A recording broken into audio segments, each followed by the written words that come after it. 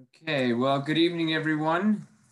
Uh, welcome to the fourth and final uh, seminar of the semester, the spring 2021 semester. Uh, this is part of the School of Marine and Atmospheric Sciences Stony Brook Southampton lecture series, which we do each academic semester, one per month. And uh, as I said, this is the final installment of uh, spring 2021. And we're very excited to have this evening's presentation, which is a shared presentation of the Shinnecock Bay Restoration Program, uh, which is put together by multiple faculty members from uh, Stony Brook School of Marine and Atmospheric Sciences. And um, I'm just gonna go ahead and get started. Uh, I'm just gonna start by acknowledging there's been dozens and dozens of uh, students, graduate students, undergrads, and volunteers who have participated in this program uh, this program really is, as you'll learn momentarily, well over a decade old. Um, and I'll also very um, acknowledge the very hard work of Mike Doall. Uh, Mike is on vacation this week, and uh, we didn't want to interrupt that. He works extremely hard for this program, uh, but I will acknowledge that his very hard work has made uh, made this program possible, and actually not just possible, has made it totally thrive. So I'm going to begin tonight by just putting uh, in context where Shinnecock Bay is and has been uh, over recent decades. And it's really where all of Long Island has been in recent decades. Um, because as the population of Long Island, particularly Eastern Long Island, has grown, we've seen nitrogen levels in groundwater rise. And we know that's from uh, primarily due to uh, people's on-site septic systems, to a lesser extent, fertilizer. Uh, we also know in parallel, there's been incredible shifts and declines in very important fisheries. So this is uh, most emblematic. Uh, the most uh, prime example this is Great South Bay, which used to supply uh, the biggest, was the biggest source of hard clams for the entire United States in the 1970s. Declines of more than 99% with estimates that in the 1970s, the number of clams could filter the bay in three days, uh, and that now today it would take potentially three months. And so with that overloading of nutrients and with the loss of all these shellfish, we've had no shortage of water quality impairments across Long Island, harmful algal blooms of all different types, um, low oxygen conditions, uh, and other sorts of problems. And uh, you know, most emblematic emblematic of that uh, potentially you could argue would be Great South Bay, excuse me, Shinnecock Bay. Um, because when we began this program um, in 2011, we were faced with a situation where Shinnecock Bay was experiencing intense brown tides every single year. Brown tides we knew to be toxic to shellfish. Um, red tides causing uh, paralytic shellfish poisoning events within Shinnecock Bay, closing the entire western basin of Shinnecock Bay. Uh, the clam landings in Shinnecock Bay paralleled those of Great South Bay with a decline of more than 99% uh, since it's from the peak in 1970. Uh, and an incredible loss of uh, eelgrass across Shinnecock Bay. It's estimated that potentially most of Shinnecock Bay at one time was covered with eelgrass. And even this map that Cornell Cooperative Extension had put together in 2006, just five years later, uh, many of these regions did not have seagrass.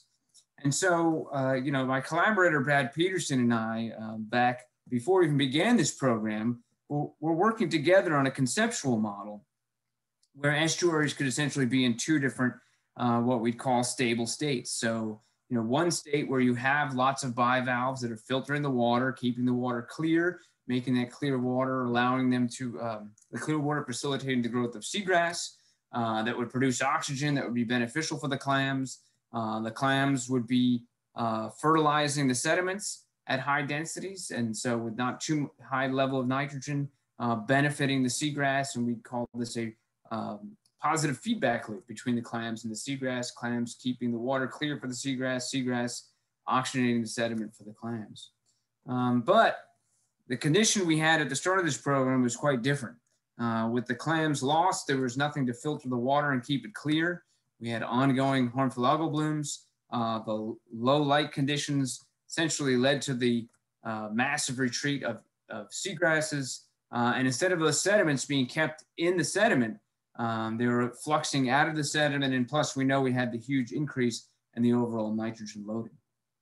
And so, the context of this and knowing what this was in, Brad Peterson and I in 2004 uh, began in earnest. That was the roots of this actual program, uh, where we actually spent about seven years before this program even began doing experiments and surveys that set up what we started in uh, 2012. Uh, so, but before that, we wanted to figure out what's going on in Shinnecock Bay uh, and how is that water quality changing and varied in space and time across the bay. Uh, and then thinking about bivalves, we wanted to understand and did research understanding which bivalve species would thrive within which regions of Shinnecock Bay. And Brad was also very interested, of course, in eelgrass and knowing what types of eelgrass would uh, thrive in which portions of Shinnecock Bay. And we also looked carefully at water circulation uh, programs. And it was this foundation of science, so seven years of research, that then set up what became the Shinnecock Bay Restoration Program. Um, and so you'll see what I'm emphasizing here, concurrent location and species specific restoration activities. And so a lot of times people, I've heard people say, or people ask, you know, well, why is the Shinnecock Bay Restoration Program different? Um, and so this is what's different is the fact that uh, unlike some other programs uh, that had to be performed in specific locations, we didn't presuppose anything. Like I said, we did that seven years of research and based on that research decided on the reasons that would be best for restoring clams, uh, the best for oysters, the best for seagrass, uh, and then other areas where we wouldn't didn't need to restore anything, but we just monitored carefully with regards to how the program would unfold. So I'm going to start tonight talking about our efforts on hard clam restoration. Um, and so in this light, when we worked on hard clams, um, one of the biggest things that we did was focus on hard clam spawner sanctuaries. So we were not interested in planting clams so they would simply filter the water. Rather, the goal of our hard clam spawner sanctuaries was to get enough clams in the water so that they could reproduce and repopulate the bay uh, by planting them very close together. And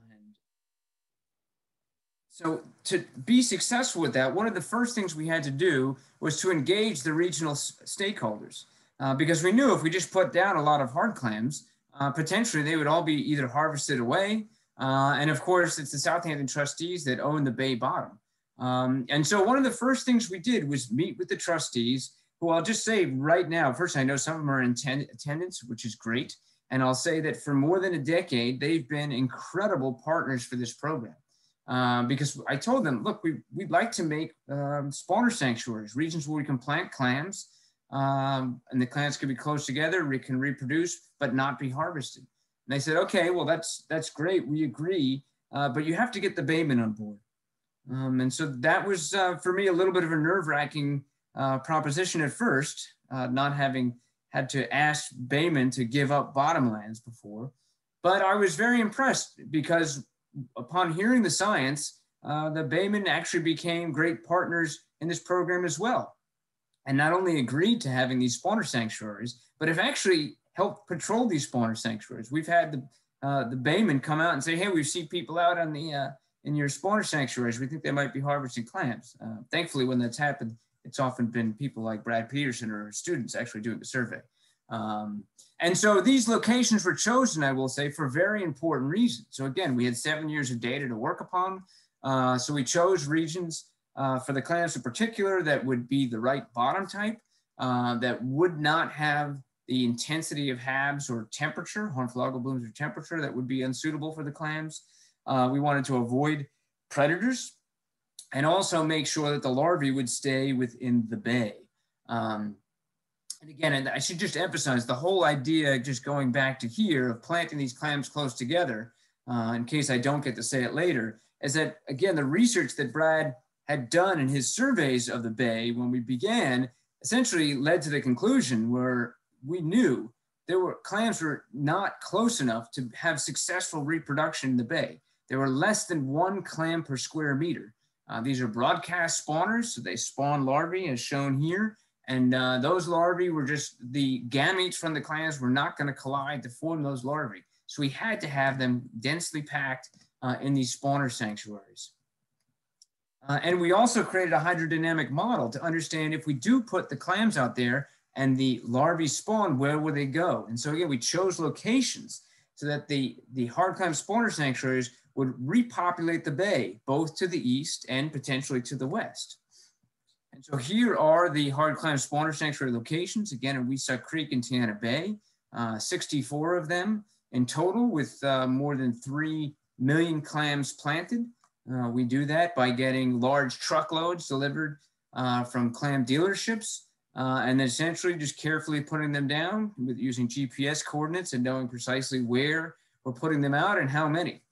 Uh, and here's how it changed over time. And so what you can see is by 2017, we really had already hit the 3 million mark. So we've been at that level for a while and we were all over um, uh, close to a million even by 2014. So, you know, this that was the easy work, but the next work was understanding, you know, how are these clams doing and what are we going to do going forward? And so that was uh, what the, the, the real part of the science thereafter is monitoring uh, the entire life cycle of the clam. So both the adults watching them spawn, seeing if they survive and, and, and reproduce, that is seeing if the offspring survive and reproduce, and then seeing if they actually make it to repopulate the bay. Um, so we've had bay-wide surveys that have been conducted annually since 2012. We've also made efforts to track uh, the distribution of larvae. So once they're spawned in one of the spawner sanctuaries, where do the larvae go and how do they spread across the bay? And then in parallel, uh, Mike has made an incredible effort uh, digging through the old landings data for Shinnecock Bay, uh, the landings data provided by New York State DEC. Uh, and frankly, Mike has looked at these in a way that I've never seen done before because he's gotten not just the numbers, uh, but he's also gotten size classes. But just cutting to the chase, uh, and what we had is our um, uh, the, the, the, hook title for this presentation, uh, hard clam landings have increased 1,000% since we began this program. Uh, that's comparing the 2011 landings to what we have today, where today we're at over 10,000 bushels of clams landed in Shinnecock Bay in 20, uh, 2020. And you can see the trajectory since we began our program. Uh, and what is remarkable as I look at that, and you can see that the, the, these increases I'll mention have been largely in Eastern Shinnecock Bay. Although again, if you look at where we were in the beginning for Western Shinnecock Bay, there's even more landings in that location as well. Putting this in even, even further historical perspective, uh, we're certainly not where we were in 1970. Uh, but the point we've gotten to for me, as someone who's been studying the brown tide for 30 years, the fact that we have now restored clams to the uh, to the landings at levels that haven't been seen since the onset of the brown tide is truly remarkable. Um, and beyond just again the total number of clams landed, Mike has broken down this data and looked at the sizes of clams landed. And what is remarkable in this data is that if you look at the types of clams that are increasing, um, the biggest increase is for little neck clams. So we could have had a title that had the number 1,771%, because that's the increase for little neck clams uh, since the beginning of this program. There's also been an increase in larger ones, but not as much. And so what this tells us is that this is not that the, all the clams were there uh, and all of a sudden that people were harvesting them again, but that these are new clams because you know these clams that are going to be in these smaller size classes are only going to be a few years old. Um, the size class before the harvest is two years old. So we're looking at clams that are going to be three to four years old if they're little necks. So these are clams that are being harvested in 2016 through 2019. These little necks were all produced since the beginning of this program. And you can see with time, the relative proportion of the smaller clams has increased from uh, a minority of what's being harvested to a majority. Beyond what's being harvested, uh, another important piece of evidence with regards to uh, the changes in populations is how just the overall size structure of the clams has changed. And so if we look at the beginning of the program, um, particularly we'll just say with the Eastern uh, Shinnecock Bay, we had the majority of the clams being chowder clams, the largest clams. Um, but what we're seeing what we've seen since then, and, and no very small clam, but what's we've seen since then, these are surveys done by the Peterson Lab, um, is an steady influx of these smaller size classes of clams that had to have been spawned uh, within one to two to three years. Um, and if you look at not the landings, but now the total abundance of hard clams uh, in Eastern Shinnecock Bay, it's up 700%. Uh, a, a, small increase in clams in the Western Bay, but really it's dwarfed by what we see uh, in the, in the uh, eastern part of Shinnecock. And so, you know, that's a great story in of itself. But, you know, as scientists, we don't want to rest on our laurels and say, case closed. We're here to learn uh, if what we're doing is indeed leading to this. Uh, because if it is, it's something we want to be able to reproduce. Uh, and we're not going to just accept that the numbers are up and, you know, okay, case closed. So, what's the evidence that this has anything to do with the planting of millions of hard clams uh, in Shinnecock Bay? Well, the first piece of evidence, and again, put together by Mike Doall, is comparing what's happening today in Shinnecock Bay to the rest of the South Shore Estuary Reserve. Uh, and that's what's uh, we call these five estuarine systems across uh, Long Island from Southampton all the way out to Brooklyn. Um, and so what you see plotted here is of all of these locations, there's only one system where the landings of clams are increasing. And that's Shinnecock Bay here in the navy blue. Uh, and you can see, or I shouldn't say, the minor increase in, in South Oyster Bay, uh, but nothing like we've seen in uh, Shinnecock Bay and in Moriches Bay, the next closest bay over. Uh, the landings are actually down by 61%. And again, if we put it in a historical perspective, going back to the 70s, uh, the, the script has been flipped. And that is to say, in the 1970s, 95% of the clams were coming out of Great South Bay, and only 4% were coming out of Shinnecock Bay. And today, uh, for the first time, uh, to our knowledge ever, there are more clams coming out of Shinnecock Bay than there are out of Great South Bay, despite it being Shinnecock Bay is one tenth the size of Great South Bay. Um, and again, if we look at the timing of the increase. Again, it matches up with when we'd expect the, sp the spawner sanctuary hard clams to be reproducing. These clams are going to take three to four years to reach market size. And you can see sort of a steady increase and then a very sharp increase uh, starting in 2015, um, matching the time with, and you see that also in Little Necks, the big increase in Little Necks starting in 2016. So matching the time course from within which uh, we began restoration. The other thing that's notable here is the fact that the hydrodynamic models predicted, due to tidal exchange and the location of the Shinnecock Inlet, that places like the, uh, the spawner sanctuaries like Tiana Bay would spread clams to the east. And this is a, uh, again, a hydrodynamic model specifically looking at the larval transport. Um, and, you know, we probably won't get into it too much. We can discuss it maybe towards the end, but uh, we certainly know because of that tidal exchange that the total water quality uh, over time is, is significantly better in Eastern Shinnecock Bay, uh, allowing the clams to that do make it over there probably to set and then thrive. Uh, another thing we're looking at is are the clams we're planting surviving and spawning? And so the one thing we know for sure, they absolutely are spawning. This is something known as the uh, gonadal index or gonadal rank. Uh, Mike Doall actually pioneered this measure uh, essentially just showing how um, uh, how ripe or how how the ability of the hard clams to spawn in a given year. It's a sawtooth pattern uh, because every single the clams generally reproduce in the summer, and so they condition in the off season and then spawn, uh, and then condition and then spawn. And so the fact that we're seeing that increase and then decrease suggests indeed they are spawning. Um, so that's uh, important. And beyond just the fact that they're spawning, um, we're looking to see if they survive. And again, these are surveys that the Peterson lab has been doing since the beginning, and we're seeing very high survival rates of these clams. You can see the densities that we shoot to plant these at are around 20 per square meter. Uh, and all of the sanctuaries have remained within that uh, general density, uh, which contrasts with other locations where people in the past haven't had the ability to choose where they would plant the clams.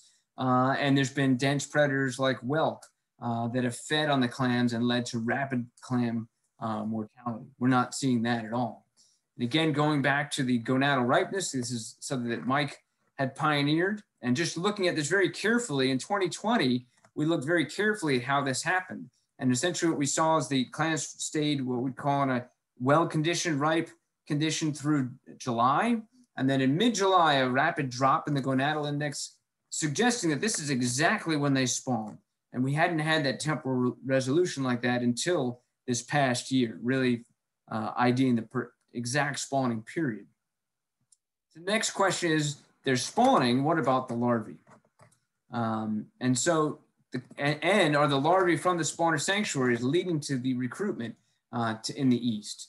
And to answer that, we wanted to have a molecular method specifically to identify uh, the hard clams because it's been shown in previous research you can't use a microscope to differentiate a hard clam larvae from a mussel larvae, from a uh, oyster larvae. Um, and we took advantage of a recent technolo technological advance, um, and that is what we call third generation digital PCR, um, which overcomes, uh, it's quantitative, first of all, but overcomes a lot of the potential inhibitions that come along uh, with quantitative PCR.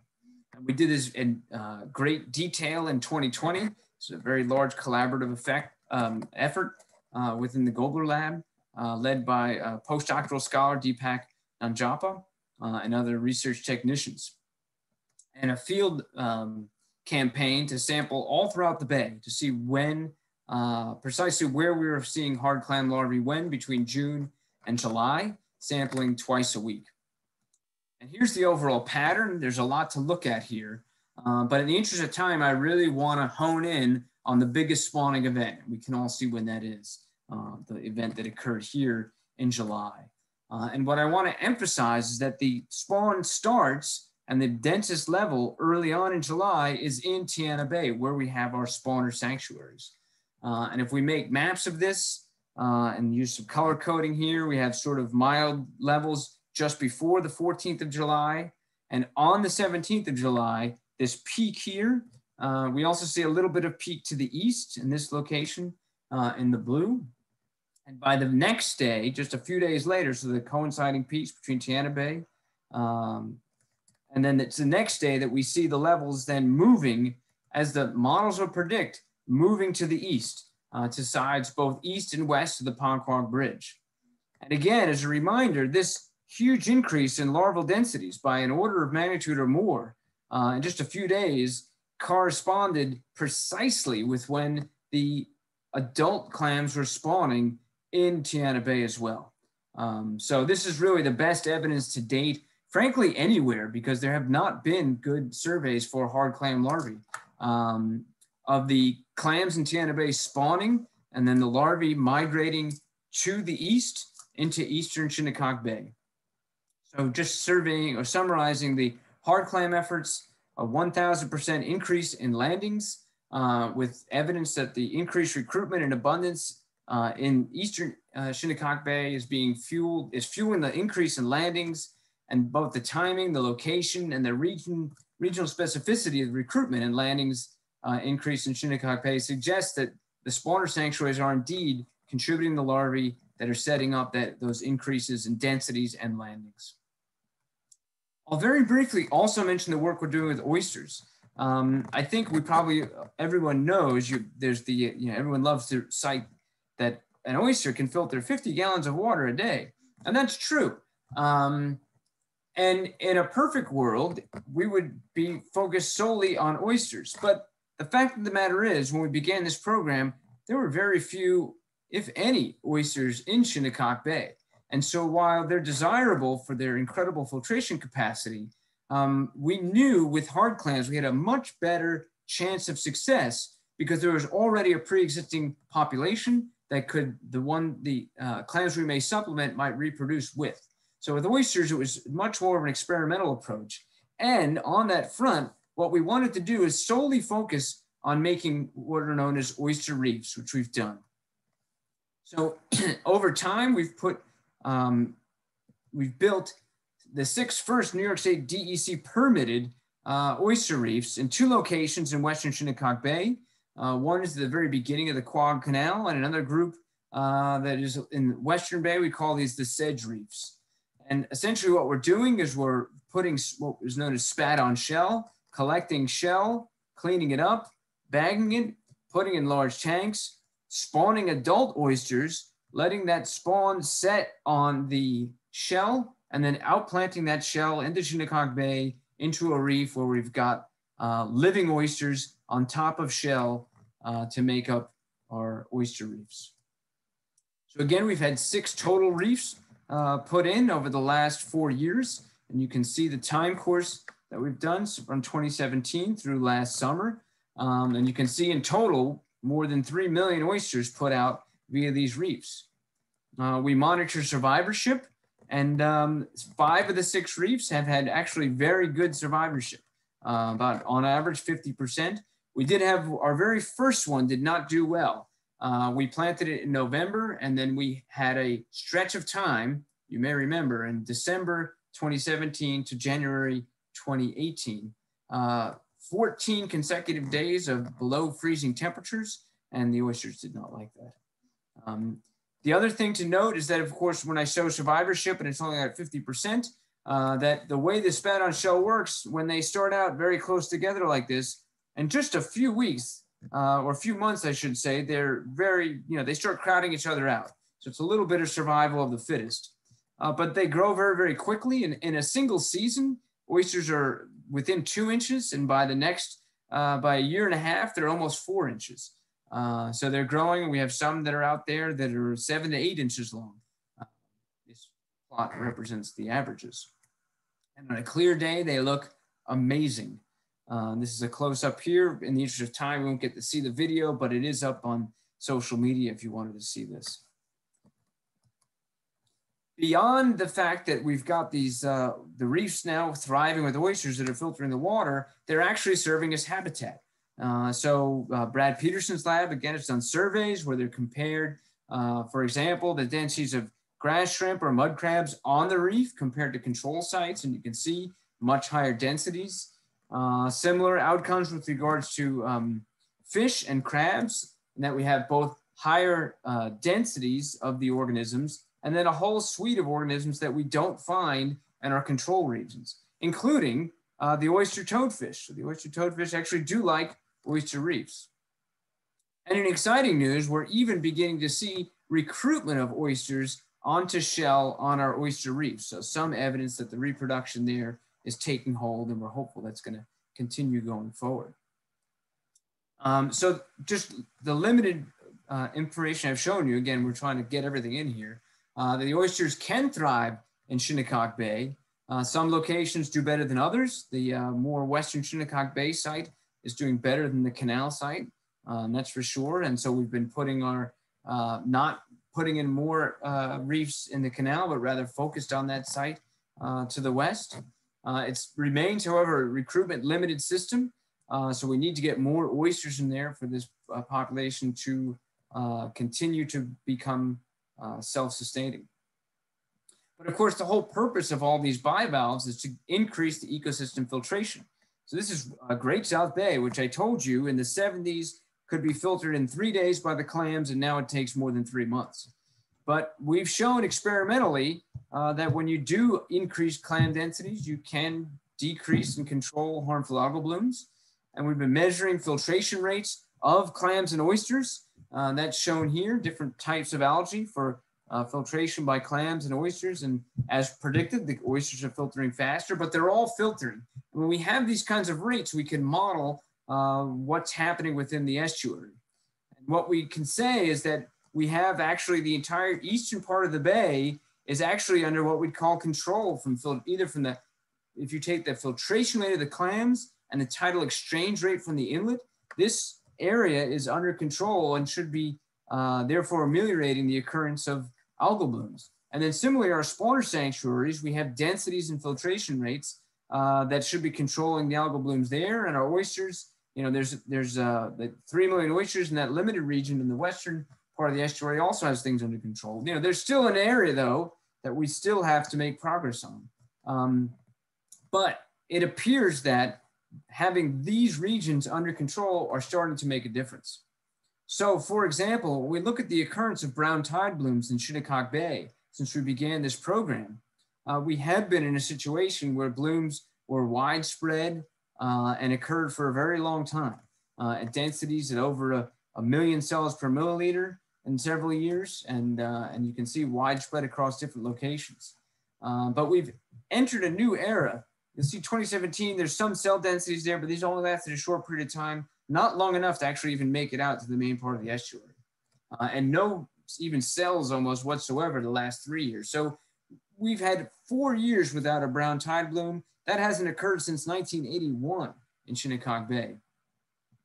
Uh, an even more dangerous hornflower bloom in Shinnecock Bay are uh, blooms by an alga known as Alexandrium that makes saxitoxin leads to paralytic shellfish poisoning. And when we began this program, the entire eastern part of the bay was closed, excuse me, western part of the bay was closed to PSP, every, uh, not every spring, but I think it looks like three out of five years. Uh, but since the program began, we then had a situation where it was just the very far western part of the bay. And now the last two years, there's been no PSP closures. And uh, you know, so far, so good for this year. We have had things known as rust tides in Shinnecock Bay as well, but we've not seen a rust tide in the western part of the bay since 2017. And then the final thing uh, I want to present is sort of an independent evaluation of the Shinnecock Bay Restoration Program. Suffolk County has been monitoring water quality. So anybody can look at their results and see what their results show with regards to water quality. And if you look over the last decade, what you'll see in the data is that the levels of chlorophyll, this is the levels of algae, are progressively decreasing uh, the water clarity is progressively increasing. Uh, and in parallel, the levels of total nitrogen are declining. And frankly, there's not many places you can say that. The Suffolk County Subwatersheds Report was just issued and showed that there are many locations in the North Shore, East End, South Shore, the nitrogen levels are actually rising, but the western part of Shinnecock Bay is an exception. So with this increased water clarity, we can now transition to um, my collaborator, Dr. Brad Peterson, and he can describe what he's been doing on the eelgrass restoration front. Thanks, Chris. So the overall goal uh, 20 years ago was Chris and I sitting around uh, drinking beer and thinking about how, you know, we knew the problem was nitrogen and we knew that the nitrogen was coming from our septic systems, but that's a you know, that's a, a billion dollar question um, that Chris is involved with now at the Clean Water Institute. But back then, thinking about what could we do immediately was to drive that nitrogen out of the water column. And as what Chris has just shown you was that uh, it's been successful in driving the nitrogen out of the water column. And, and so uh, for what that might mean for seagrass, our desire has always been to improve the seagrass through an ecosystem manipulation by changing, driving the nitrogen out and changing the water clarity. Chris, could you go to the next slide, please? Usually when people think about restoration, they think about taking live adult shoots from one place and putting it somewhere else. And that was never really what our concept or desire was. And, and that's primarily because the plant itself has a great ability to claim space when the situations, when the, the habitat is, is good for it. Chris, could you go to the next slide, please? What I'm showing you right here is a series in Eastern Shinnecock, what I call the landscape lab. And what you're looking at are patches of seagrass. And then you're gonna see a series of these images over a six year period. So this was an image in this area. And what you see right now was a really good seed set. And then we go to the next, you know, we jump a year ahead, we jump a year ahead, we jump a year ahead, right? And over the course of this six years, what you see next slide, Chris, is that an area that had less than 8% coverage has now gone to more than 43% coverage. And so if we can manipulate the system so that the light levels are appropriate for the grass, it has a great potential to then expand. So what did we do? Next slide, Chris. We know that in the Western Shinnecock, it's light limitation. And what Chris has just shown you is that over the course of the last decade, the, the uh, nitrogen's gone down, the harmful algal blooms have gone down, the chlorophyll's gone down, and the secchi depths have increased. But uh, uh, what's happened with the grass? Next slide, please. So what we did, and starting this started late, we started this in 2017. What we wanted to do was come up with a way to look at what metrics there are that affect the light. And so it could be the dead particles, what we call total suspended solids, or it could be the chlorophyll, the live particles. But understanding how these different elements in the water are changing gives us an idea of predicting where the light levels are appropriate for grass. Next slide, Chris. And so since 2017, every year at each of these locations, we've been measuring the temperature at the bottom, as well as these different parameters, chlorophyll, total suspended solid, and then the color dissolved organic matter to calibrate our model. Next, next slide, please.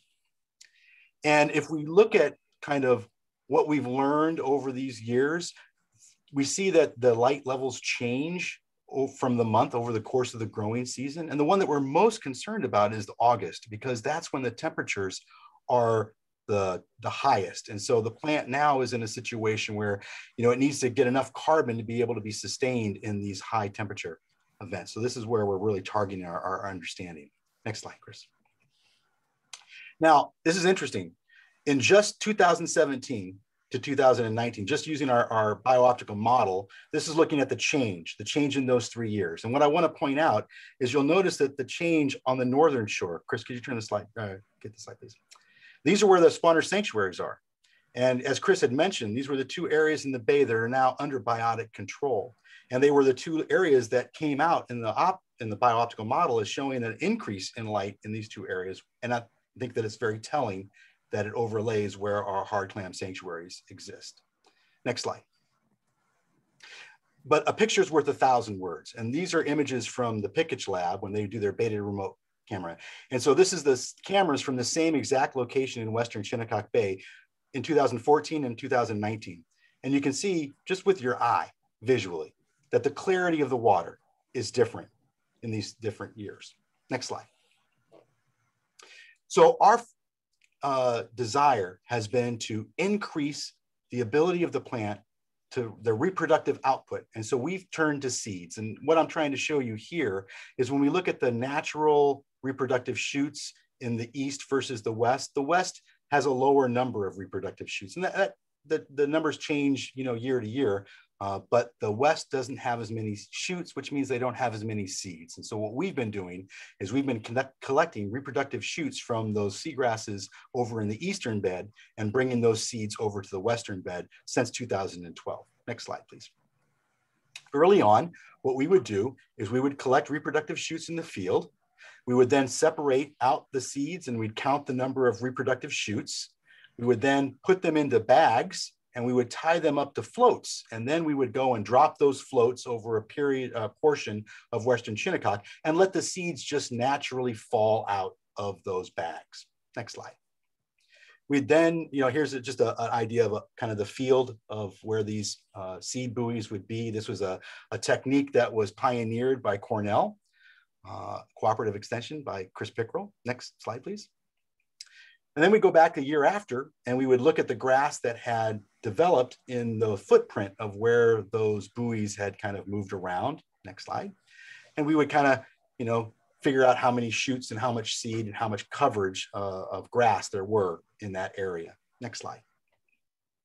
However, we've changed our strategy. And the reason we've changed our strategy is because there are things that want to eat those seeds. So a lot of fiddler crabs and, or um, uh, hermit crabs and uh, little crabs will eat those seeds.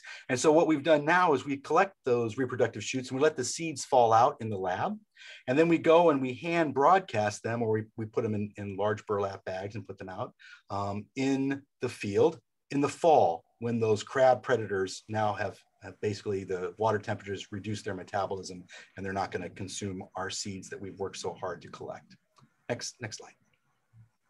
And this is just a picture of kind of broadcasting the seeds out in an area and then going back the following year and, and seeing the seedlings uh, down below. Next slide. Now, what you're looking at is some digital imagery that was taken, flown by the Department of State in 2002. Um, and I'm going to show you some in 2004. And I'm showing you this, but I just want you to know that a lot of what's being covered here is are false positives. A lot of this was actually uh, algae and not seagrass. So focus on those area that I call the Tiana beach beds which, which really were the seagrass that was present there. So this is 2012, way before when we began the project. Next slide. And this is what it was in 2018. Now, again, you know, this is, gives us an idea of change, but I, think that um, maybe uh, some images from Google Earth might be more uh, effective for you. So next slide, please. This is an image, and I want you to pay particular attention to the red arrows. So this was in 2013, the, the year after we initiated the project uh, here in Western Shinnecock. And then the next slide, Chris. And now you can see all of that dark that you're looking at there is now eelgrass that has expanded from those you know, uh, six years from 2013 to 2019. I'm going to show you a figure next, which kind of has them overlaid on, on, one above the other. And so the red lines are kind of around where there was grass in 2013 and, and where the grass existed in 2019. And so by basically kind of subtracting one from the other, we come up with an estimate of how much has changed. And so there's been basically a net change in seagrass acreage of you know almost 100 acres. And you know, for many of you sitting on in the seats, you're like, well, that's great, but what does that mean? Well, when we look at the cost of actually having to move shoots, adult shoots from one place to another and, and, and restore a bed that has been uh, lost, uh, using the University of Rhode Island estimates for restoration costs at $250,000 an acre, we're looking at, you know, $24 million is what it would have cost to restore that much ground in Western Shinnecock. And next slide, see. I think that we've really reached what I'm calling a, a sea change over in Western Shinnecock. Um, when you've looked at large restoration, restoration projects, particularly over in Europe and the Baltic, it's taken them over a decade, oh, two, you know, 20 years before they start to see the kinds of changes in seagrass that we've seen uh, in, in, the time that we've had this project. And so I think that the seagrass expansion in Western Shinnecock is a direct uh, result of the water clarity improvement due to the, the water filtration by the hard clams and the oysters. And with that, I'll uh, pass the baton. Okay, Ellen. Okay. Um, welcome everyone. So as you know, healthy estuaries depend upon having healthy fish populations. And we've heard an awful lot so far on the um, about the shellfish and about the eelgrass, but this isn't working. I see that the this is supposed to be a video that's looping, but it's not looping. Sorry about that, but it's okay. It doesn't have to. um, so one of the things that we thought was really important to understand was whether these direct restoration efforts, which were building hard clam sanctuaries, restoring eelgrass, building oyster reefs that would filter the water, when, if ever, would those direct restoration impacts have an impact on the upper trophic levels, the fish and invertebrate populations? When I first got to Stony Brook and started thinking about this project, um, you know, it, tur- it turned out that at that time there was a lot of information that had been collected by my colleagues, as you've heard, that documented the problems. But at the time, there was not yet any kind of restoration going on. And I put a lot of my effort into initiating the restoration program.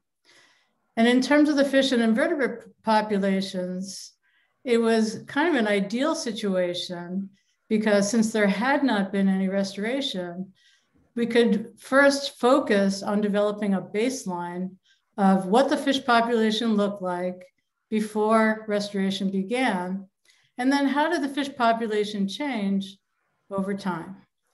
Next slide, please. So what we have done to monitor the fish populations has primarily been to use a trawl survey. And in the top middle illustration, you'll see what a fish trawl looks like. Thanks for that, Chris. Um, so there's a net, looks like a big sock, and it is deployed off of the vessel, and it's towed along the bottom. And as it's towed, fish in its path are caught, and then the net is brought up onto the boat. And when it's brought on the boat, we first sort the fish by species, then we count the fish and we measure them so that we have a very good idea of the, the community of fishes in the bay. Next slide. This, this diagram gives you a picture of where we've been sampling and um, you don't have to worry too much about the details, but the different colors represent different years. We have, we have tried and been pretty successful in having a standardized, consistent sampling regime through the years that covers both the Eastern Bay and the Western Bay, and when possible, also the far west, Quantuck Bay. The only exception to our consistent sampling has been in Tiana Bay, Inner Tiana Bay. When we started the project, as I said, there were no um, hard clam sanctuaries, there were no restoration efforts, and we had actually chosen that as one of our trawl sites. When the hard clam sanctuary was established there, we realized we better not be trawling there.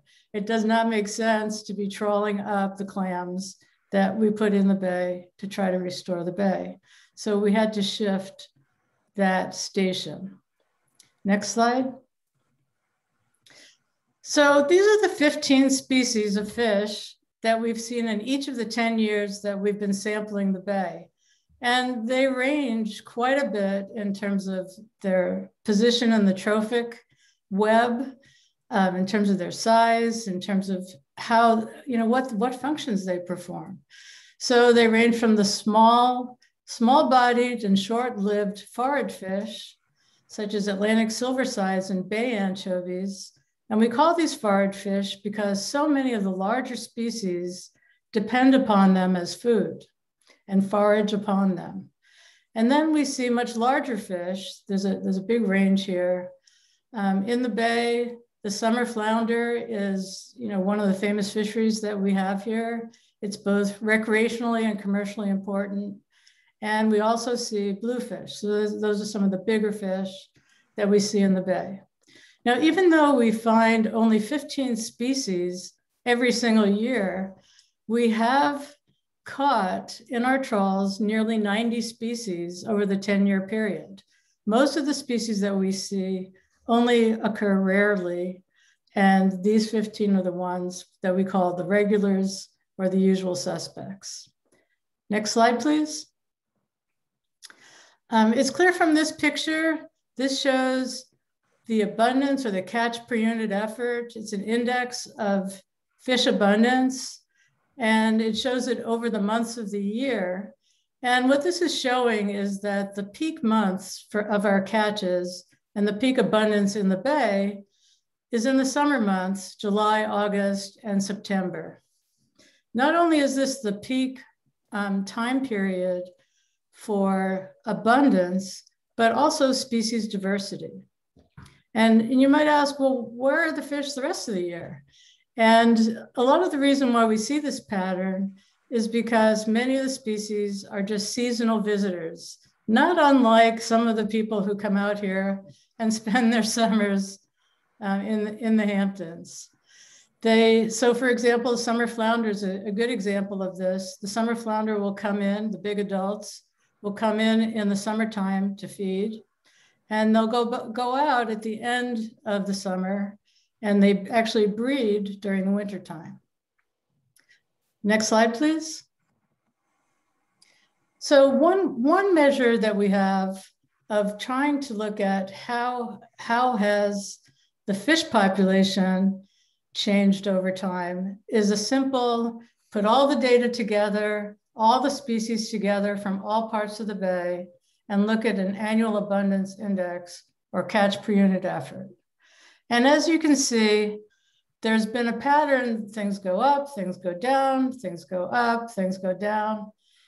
One pretty remarkable thing though is that in the most recent year, 2020, the catches that we've seen, the catch per unit effort is more than, it's about twice as high as it's been in any other year in the series. So it was really a banner year. And this is one positive indicator that in fact we are seeing restoration reaching all the way up to the upper trophic levels to the fish. However, we've found out that we can do, we can use more powerful statistics and really learn more about the fish restoration. Next slide, please. So here is, um, you know, basically it's, it's meant to, to be a schematic to show what it is that we're trying to achieve. So we know that we've heard already that the Western Bay had um, poorer water quality than the Eastern Bay. It also had a more degraded fish population. And we put most of our restoration efforts, our direct restoration efforts, namely the clam sanctuaries, the oyster reefs, the eelgrass work, those are all directed in the Western Bay to try to improve the water quality and the habitat in that bay. So what we would hope to see, and you can click now, is that over time, the Western Bay and the Eastern Bay fish communities would start to look more similar. And this is the approach that we've used in recent years to try to more powerfully determine the restoration success in terms of the fish community. Next slide. So this is, this is again, a pretty simple graph, but it's looking only at the fish in the western part of the bay.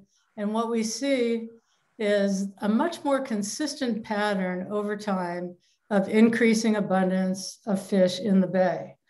And in fact, in the last year, we see that 2020 the abundance of fish in the Western Bay is about three times greater than it was when we started the project back in 2012. Next slide. But really here is, here is the most powerful test that we have.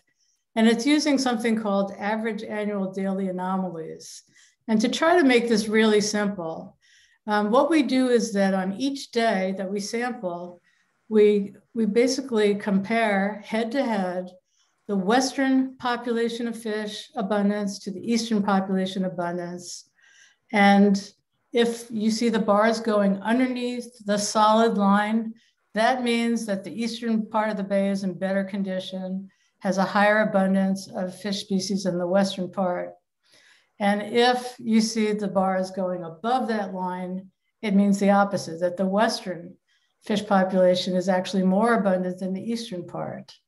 And what, by looking at these anomalies, what it's basically allowing us to do is to remove that annual variability that we see in the bay. And you can see a picture here of Sarah, who's, who's worked very hard on this project and leads the field effort, holding a beautiful summer flounder, who also helped with this anomaly graph. So if you click on the slide, Chris, you'll see that in the early years, the eastern part of the bay dominated in terms of fish abundance. And as time progressed, and particularly in the last couple of years, we now see that the western population of fish is actually more abundant than the east. So even at these higher trophic levels, which one might expect would take longer to show any evidence of recovery, we are seeing recovery during this 10 year time period, and it's highly significant. Next slide, please. I'm going to spend a very short amount of time on this, but I wanted to fill you all in on some of the most exciting work I think that we've done and are doing in the project, and that has to do with environmental DNA as an alternative sampling method for sampling not just the fish, but pretty much everything that um, is within the waters of Shinnecock Bay. And what, whoops, we lost the slide. What environmental DNA allows us to do, so, you know, as fish swim through the water, they lose scales, they secrete substances, and they leave behind traces of their DNA in the water. And what we can do is just take water samples from the bay. And in those water samples, we can determine not only what species have been there, but also we can get an, an index of abundance or a sequence counts of how much of each species is there. So we started this work in 2019 and we developed our methodologies and really refined them and found that we could actually do this. Last year in 2020, we compared eDNA with trawl results and we found that they gave very similar results for those usual suspects, which was really good. But in addition, we found that eDNA was much more sensitive than the trawl data and detected many more species than the trawl data did. So we're seeing a lot of advantages to using eDNA, not just in terms of species detection, but also in terms of the fact that it is a non-destructive sampling method. Taking a water sample doesn't hurt the habitat, it doesn't kill any fish, it doesn't even cause any grief to any fish. And it's, um, in many ways, it's, you know, it's, it's a wave, it's a wave of the future as I see it. This coming year, we plan to expand the eDNA sampling, not just to the trawl areas, but also to the restoration areas. And as I've said before, we can't use trawling in these restoration areas. It would defeat the whole purpose of having a restoration project that you then go trawl over, rip up seagrass, remove clams, and bang into oyster reefs. So we will be able to use the eDNA approach, not just in the, in the fisheries areas, but in all the areas of the bay. So we'll have a single methodology that we can use to compare the abundance of species all throughout the bay. And with that, I'll pass it on to the next speaker. Thank you. Thanks, Ellen. Thanks, Ellen. So I'm going to wrap up tonight's talk. Um, I will try to go through these slides pretty quickly. I'd love for the community to, to interact with the scientists a bit and ask some questions. So I'll be speaking with you just briefly about our outreach and partnerships component of the ShiRP project.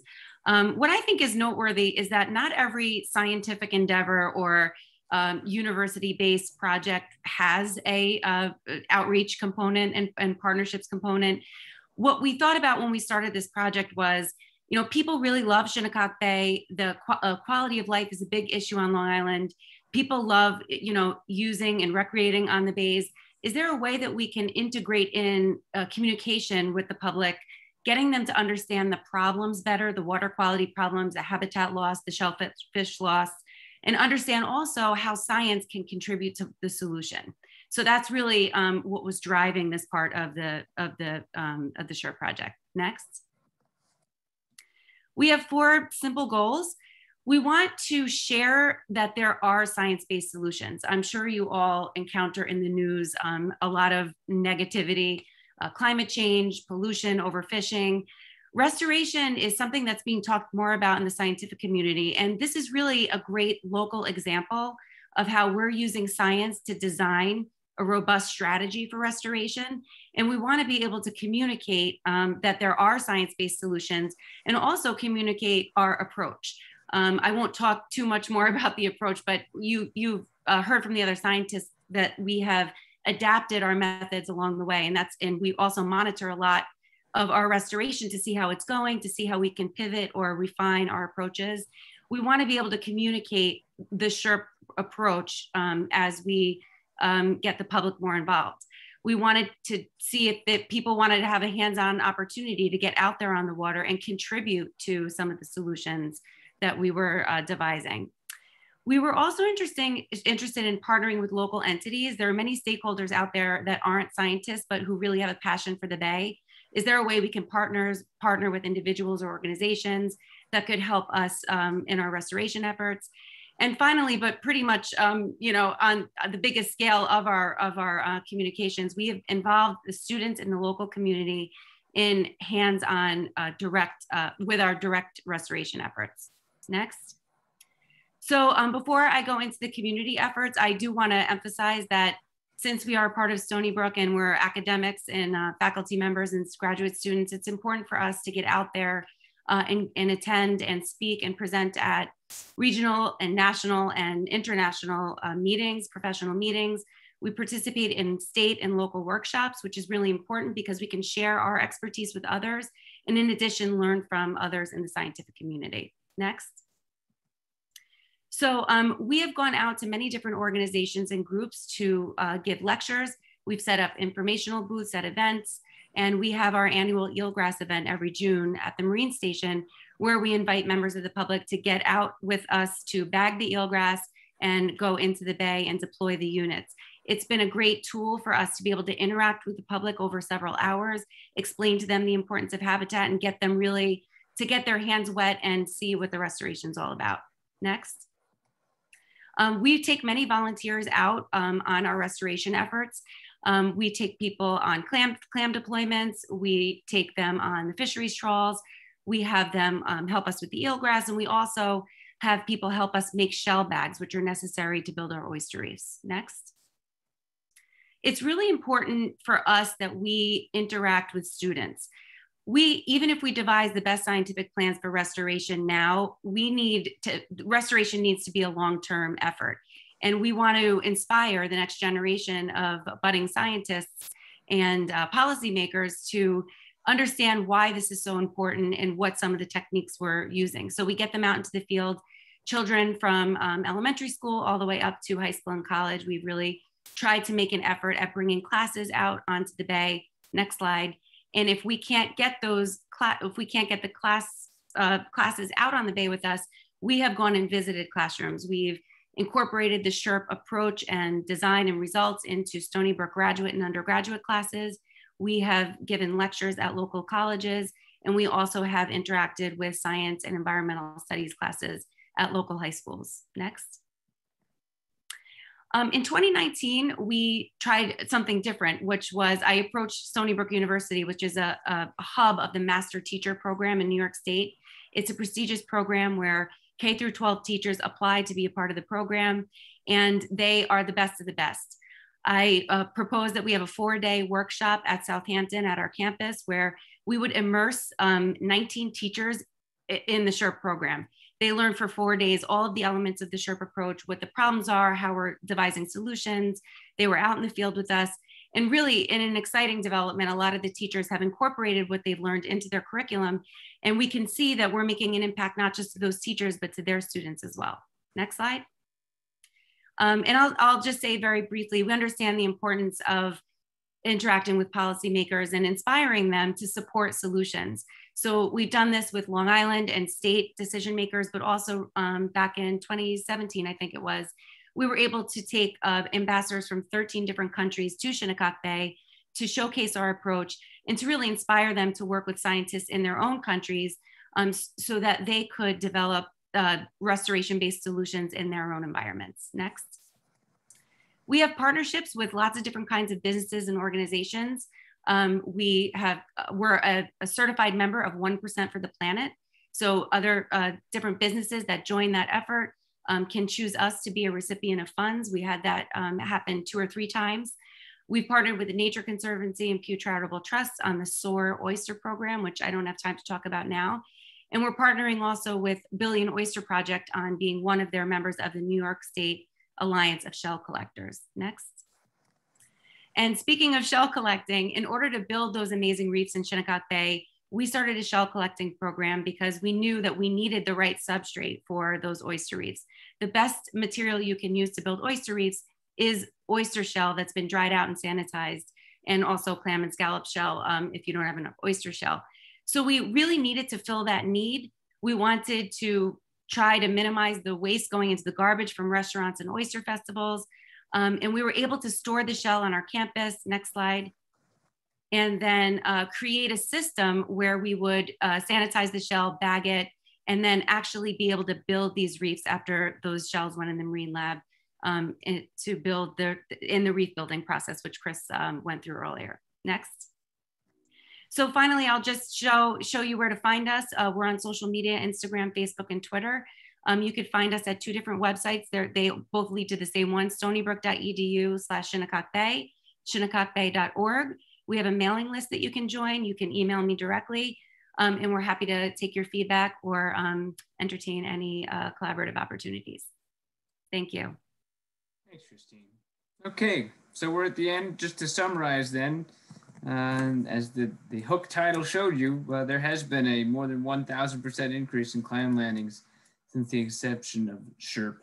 Uh, and that those landings are now at the same levels that we had before brown tides even started. Uh, and that this is the largest increase in hard clam landings for any estuary uh, on Long Island, now surpassing Great South Bay, uh, despite it being tenfold larger. Uh, th those landings are mo mostly smaller clams that were spawned since our program began. Um, we now have evidence of adult hard clams spawning in the west, those larvae being released and then transported to the east. Um, we're seeing an overall within not landings, but the actual densities, a more than 20 fold increase in hard clam densities. Uh, we've created six oyster reefs that are providing both filtration pressure and habitat. Uh, and we've monitored and measured the levels of filtration uh, to show that much of the bay is under control. Uh, we've had four consecutive years without a dense brown tide and three without any brown tide. Uh, we're at the lowest red tide densities uh, ever seen and no PSP the last two years. Uh, we've had an increase of more than 100 acres of seagrass and a significant increase in the catch per unit effort for fish in Western Shinnecock. So with that, we're done. And I'm so thankful for everyone's patience uh, and interest. And we'd love to take questions. And I think the best way to start with that is that maybe uh, we could have people either raise their hand and I could unmute them or they could type it into the chat. And I see Tommy John has raised his hand. Let's see if we can unmute now.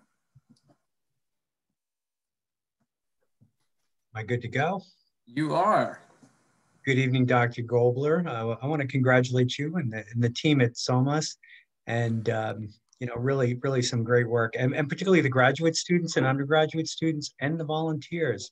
Um, of all of the presentations that I've heard you give, this is one of the best, um, and some really great news. So my question is this: Are you are you uh, evaluating other areas where these techniques could be used on Eastern Long Island? Is there any particular places Hopefully it's in the town of Southampton. Are there any places where you look at and say, this is going to be, a, this would be a great place to employ these techniques? Yeah, that's a great question. And again, thank you for attending and your kind words. Um, so the one thing I'll mention is that in 2017, the uh, Governor Cuomo took interest in this program and actually um, I had worked with his staff to develop the Long Island Shellfish Restoration Program, which is very largely built off of what we've done here. Uh, and that program happily is even going to boost what we're doing in Shinnecock Bay already, uh, and is also working in four other locations, which are Bellport Bay, South Oyster Bay, Hempstead Bay, and Huntington Harbor. I can say though that during those discussions, another, the other location or two other locations in the town of Southampton I had in mind for trying this as well was um, the was Eastern Moriches Bay which is really a mirror image of Western mm-hmm. Bay with regards to its proximity to the Moriches Inlet. Uh, and the other location was Flanders Bay. And, uh, and I still hold out hope uh, that I, well, not even, I, I, yeah, I hold out hope that at some point in the near future, we can start doing similar work there because I think, um, you know, the, the, certainly for Eastern Moriches, being that it's the mirror image, I'm quite hopeful that we'd have similar success there. Thank you. You're welcome. Uh, let's see. Let me, um, maybe I'll go into the chat here. I think there's a couple of maybe questions. Let's see here. Um, I'll take a few here. And the question first is, what effect, if any, did the Hurricane Sandy break have in all this? Well, that was mainly, actually, that was in Great South Bay. Um, but we did learn lessons that were important there. Um, one of the lessons is that physical flushing well, it helped just in Moriches, and uh, excuse me, in Bellport Bay, it didn't flush all of Great South Bay. Um, and so it, that lesson there is that, you know, the other, rather than just physical flushing, biological flushing, as we were able to produce here, also has its benefits. Um, let's see. Ellen, a question for you. You ready? Sure. From Irene Tully, you developed the ED DNA. Um, I, I, wish I was the originator of eDNA.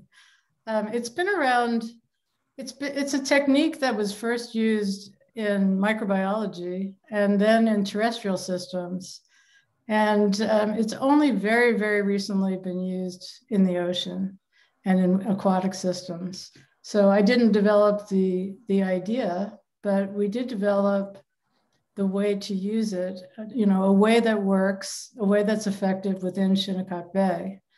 And every system that you work in requires um, quite a bit of work to make it possible to actually use it in that system. You know, for example, the species, you have to know what the genetic sequence of each species is. What is its, its DNA in order to interpret the results that you get and say, oh, that's a summer flounder that's uh, you know a silver side.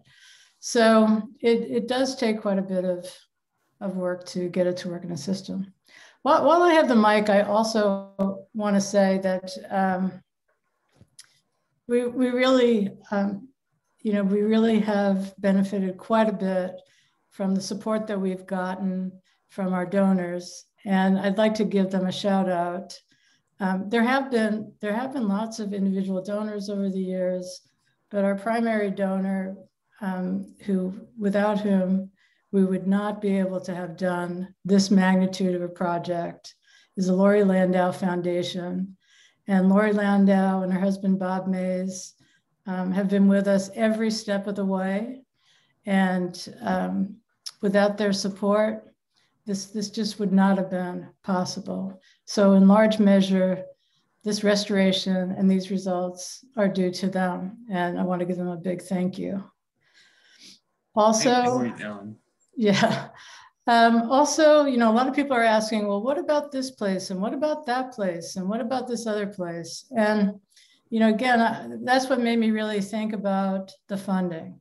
Um, there are lots of places where this approach could be applied, but it's you know, it's not inexpensive to do this kind of study. And the way that we've done it with this scientific basis, again, every step of the way, we didn't just throw clams in a random part of the bay. You know, a lot of work went into deciding where it would make sense to put them. And we followed up and monitored to see how they were doing. So um, I think all of us are very interested in seeing our work used and our approach used in other places, but it's uh, it does take some planning and some money. Okay, uh, let's see. Brad Peterson, here's a question for you here. Are you ready? The question is, is there a water temperature above which an area is determined to be ineligible for seeding? Yes, so the the um, shallow limit of the seagrass bed is set by water temperature, and it's really cumulative hours above 25 degrees Celsius. So at that temperature, the plant is no longer able to basically process enough carbon to be able to match its its metabolic needs. And so that 25 degrees Celsius and it's kind of the cumulative hours that is going to set the upper limit for the temperature. And, and just while you brought this up, um, one of the soapboxes that I've been getting on recently is, um, you know, if you look at the coral reefs, you would have called anybody uh, a fool to think that we were going to pull up corals and send them to aquariums around the country to hold them until we could find places where we could reestablish them. And yet that's the very thing that we're doing right now. And I think that as we approach the idea of seagrass restoration on Long Island, we're going to have to be much more creative about how we can deal with a climate that's changing faster than the population, the natural population is able to adapt. And so although the, the state is very frustrated with me because I'm always after them about bringing up some functional genotypes from Virginia that they don't like, um, I think that we need to start thinking about how we could probably uh, target some functional genotypes that will exist in our climate as it continues to change. Great point, Brad. Okay, Kelsey Leonard has a question, and I'm going to unmute her. She's, she can now unmute and ask. Wonderful. Thank you so much. Yes, uh, this is Dr. Leonard here with the Shinnecock Nation. Uh, Christine and, and Dr. Gobler and Dr. Uh, Dr. Peterson, I don't think I've had the opportunity to meet you yet, but it is nice to uh, have this opportunity to hear about how the research has evolved in, in the past few years. It's grown so much. And thank you to each of you and your team for the wonderful work and restoration that you've done. I had two questions that I wanted to pose to you. One, uh, and I think Dr. Peterson, you might have mentioned this earlier, but I wanted to know if the work that Cornell Cooperative Extension, in conjunction with our partnership at Shinnecock, helped to support some of the methodology for the seagrass restoration that you folks undertook and sort of continued in the larger bay. Um, and then the second question, I think is for Dr. Pikitch around um, eDNA and sort of thinking about how that might support greater partnerships uh, across the communities for the bay um, I know from a Shinnecock perspective, we've had um, we had community concerns early on with the project around trawling. Um, and so the potential for eDNA to allow for there to be less ecosystem impact is actually uh, really encouraging. And so I'm curious if you've seen that that has opened up more partnerships for your project let me answer the first question. So uh, Cornell has done a tremendous job in restoration around Long Island. Chris Pickerell, Steve Schott, and Kim Peterson have uh, worked extensively in restoring grass in, in multiple places. Um, and so I want to give a shout out to them. I also used Chris's technique early on for the uh, buoy seed uh, method. There's no one real right answer uh, for every place. You need to understand that about 10% of what's um, you know kind of the restored is going to survive. And so when you think about that in practical terms moving 10,000 adult shoots right is a huge effort.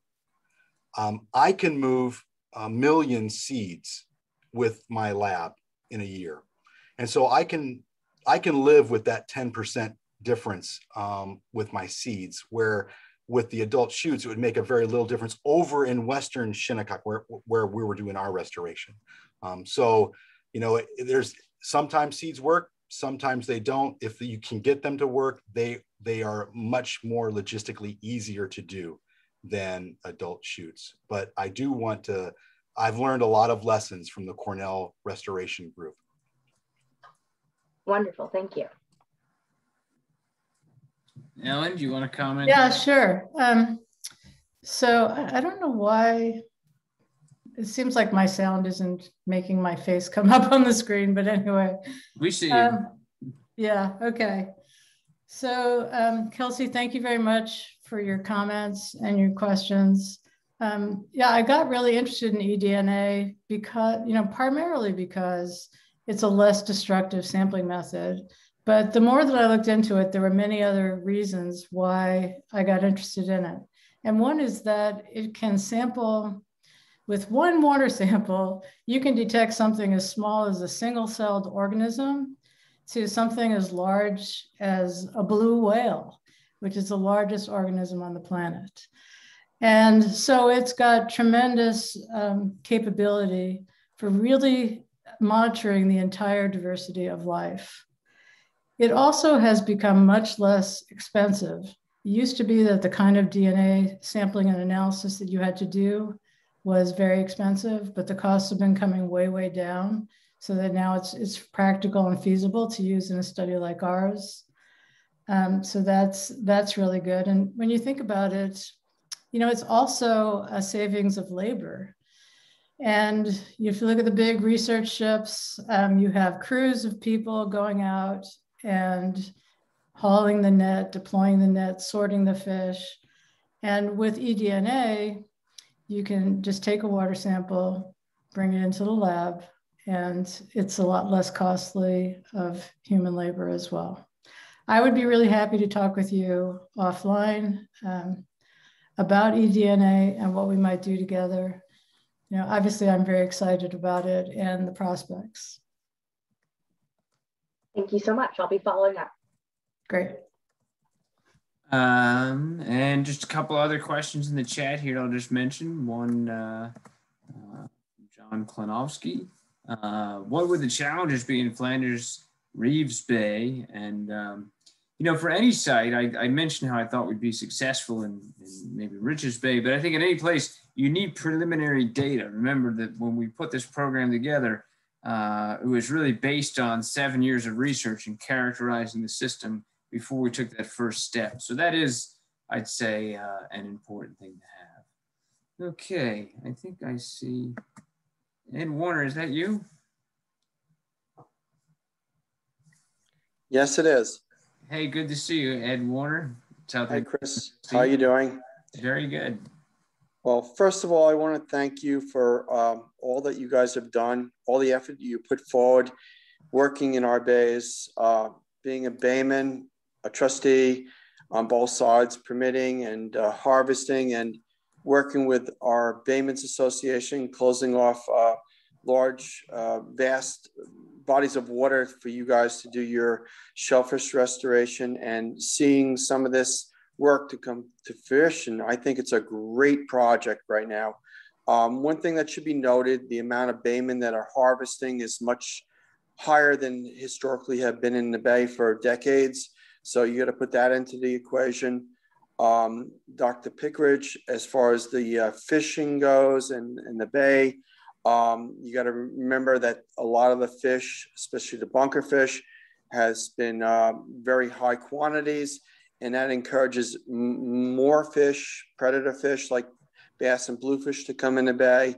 Um, I, I'm I'm critiquing the whole, you know, you know, your whole uh, synopsis here, and I, I don't want to be negative. I think a lot of stuff, I know a lot of stuff that you guys have done is positive um, Reeves Bay, uh, there was a question about that. There's a lot of other issues over there with the uh, sewage treatment plant and the, um, you know, the fish die-offs. Um, I'm just here as a, uh, you know, a person with a lot of institutional knowledge to help you guys move forward.